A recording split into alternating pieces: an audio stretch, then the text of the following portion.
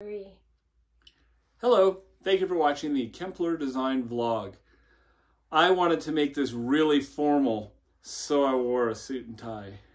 That is totally not true, but I happen to be wearing it, so I figured I would talk about these shades. Somebody, when I did the video recently on the Silhouette Halo with DuoLite, the question was, how did you hide the batteries?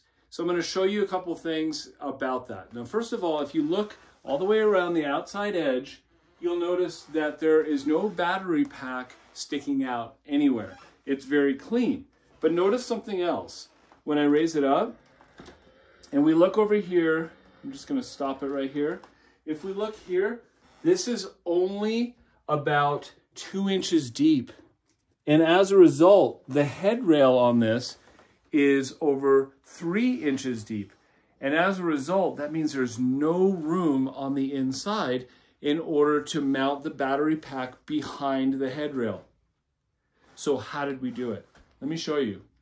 One of the things that I've been doing recently is mounting things inside the window frame. So if we bring the camera all the way over to here, we'll notice that here is the battery pack.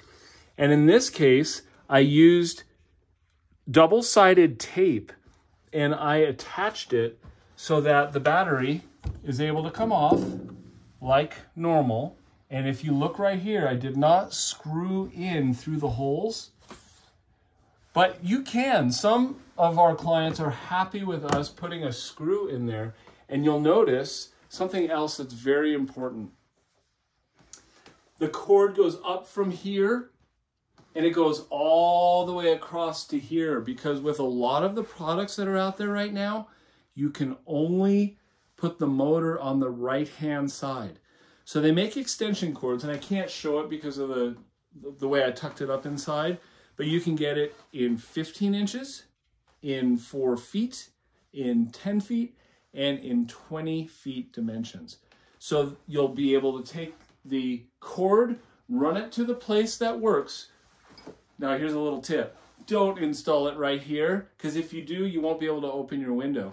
And if you do it over here, it usually works out perfectly so that you can have your battery operation in a depth that is not very deep, so it just works perfectly. I hope that answered your question to the person who asked, and I thank you very much for watching the Kempler Design Vlog.